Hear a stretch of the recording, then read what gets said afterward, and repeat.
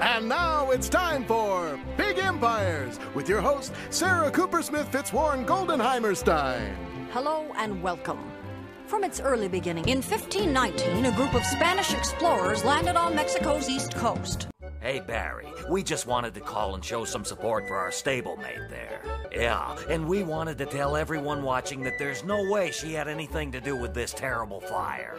In March of that year, at Montezuma's imperial palace in Tenochtitlan, the great Aztec ruler is visited. The poem describes the heroic exploits of one Paul Revere, who on April 18, 1775, is said to have ridden through the Massachusetts countryside, warning of a pending British invasion.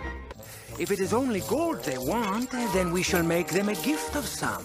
Thanks, Larry! You know, some say that all work and no play makes Montezuma a dull boy. But from the earliest times until the coming of the Spanish, my people have always enjoyed a hearty game or two, Mesoamerican style. And as they are civilized men like ourselves, I am sure that they will graciously accept this tribute and return to their own land, leaving the Aztec people to live and prosper in peace. It would be my pleasure. Now, as you know, I am the sun god. I love the sun. I am the sun.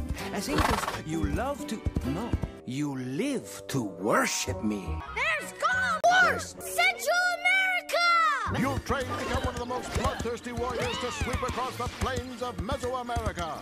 Are you an eagle or a chicken? I'm an eagle, sir! Since the Aztec has the Azteca horses, they want to play ball after the Aztec Army show. That's right, the Aztec Army is coming up on Histeria. Play ball!